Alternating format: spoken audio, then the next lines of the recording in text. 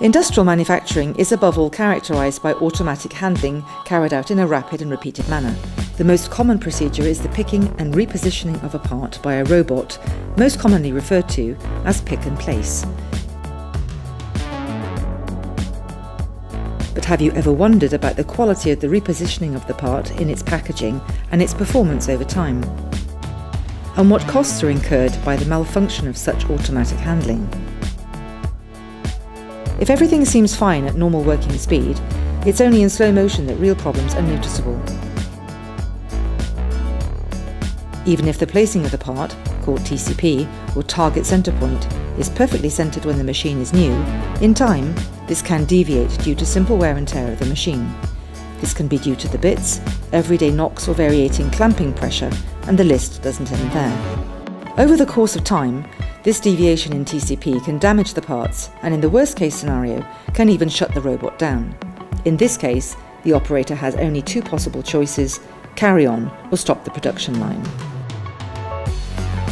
In order to remedy these problems, the operators have two types of maintenance.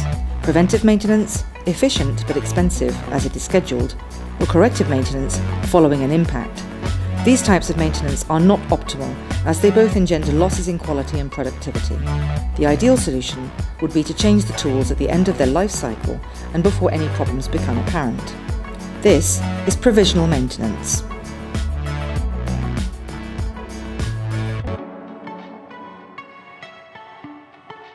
This is the reason why we are proposing an automatic application called Checkerbox, which tracks the deviation from the TCP to the tip of the part by using a measuring rod.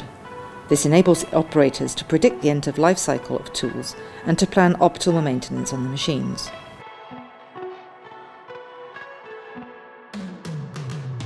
The deviation is obtained thanks to two successive measurements according to the horizontal and vertical axes. The first measured normally and the second under constraint to test the resistance of the part. Checkerbox then predicts the moment when optimal maintenance should be carried out via messages that are sent to the operator. The test cycle is carried out at regular intervals. It's quick, autonomous, and requires no action from the operator. The robot grasps the measuring rod and carries out the measurements in the checkerbox. Each measurement generates a further point on the deviation graph, which appears on the screen. The checkerbox emits three types of signal to the operator according to the type of handling. Green a minor deviation that is manageable and production may continue. Orange, production may continue, but maintenance must be scheduled.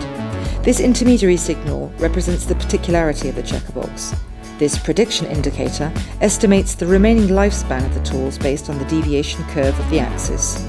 This kind of prediction becomes a basis on which operators can make the right decisions via early warning system messages.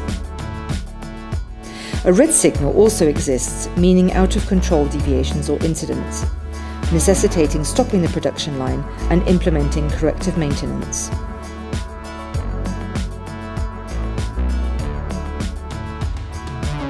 Checkerbox is simple to install and can be used on all types of robots thanks to its adaptability. The self-sufficiency of the checkerbox gives peace of mind to the operators and guarantees the quality of automated handling operations. Checkerbox enables an increase in manufacturing performance and helps reduce the quantity of scrap linked to the handling of automated parts.